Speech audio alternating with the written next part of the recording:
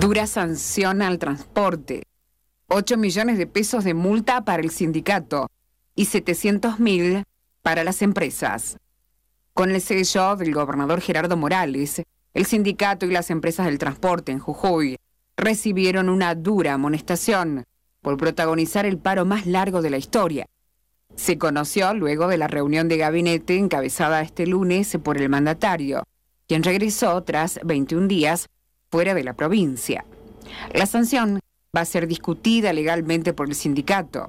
Nosotros seguramente la vamos a recurrir ya que pensamos que el reclamo nuestro es este eh, es por salario, digamos, es un derecho de los trabajadores.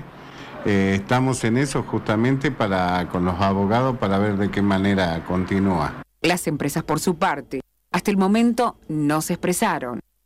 La decisión, sin precedentes, deja varias lecturas que podrían enumerarse para una cabal comprensión del contexto. Queda expuesta cierta indolencia en los funcionarios. Nadie toma decisiones en ausencia del gobernador. Incapacidad, temor o censura. Es una manera, manera de meter miedo, es una manera de amedrentar, es una manera de tenernos agachados, es una manera de tenernos amordazados. Lamentablemente, esta es la falsa democracia que se vive en nuestra provincia y en varias provincias del país. Lamentablemente, pareciera ser que hay que recordarles a estos señores que gobiernan que democracia es otra cosa. No corresponde una millonaria multa. No es el primer sindicato les recuerdo a ustedes que es uno de los tantos sindicatos que ha sido y que hemos sido multados de una manera millonaria. Entonces nos parece que esta no es la manera, no es la manera de querer domar a los trabajadores. Por otro lado, se sabe que el conflicto es consecuencia de un proceso de nueve meses, los que no fue atendido.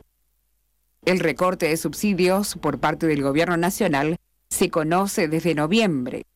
La provincia lo sabía. El gobierno local recibe más recursos, por eso le piden que se haga cargo del transporte.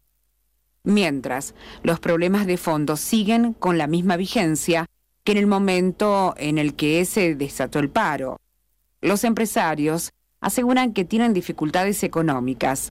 Afirman que la tarifa ideal, la que permitiría que el transporte sea un buen negocio, equivale a un dólar o sea 43 pesos, con el cambio actual. Como los usuarios no pagan eso, piden que el Estado lo haga. Allí radica el origen del conflicto. Nosotros creemos firmemente que nuestra postura acá en la seccional es defender los derechos del trabajador. Queremos simplemente que ellos cobren en tiempo y forma y que las empresas cumplan con lo que sería obra social, cuota sindical, cuota promoción, que son los aportes al sindicato. Y bueno, si esto se cumple, yo creo que no tendría por qué haber medidas de fuerza ni, ni multas de por medio, digamos. Nosotros vamos a seguir en la postura de defender los derechos de los trabajadores.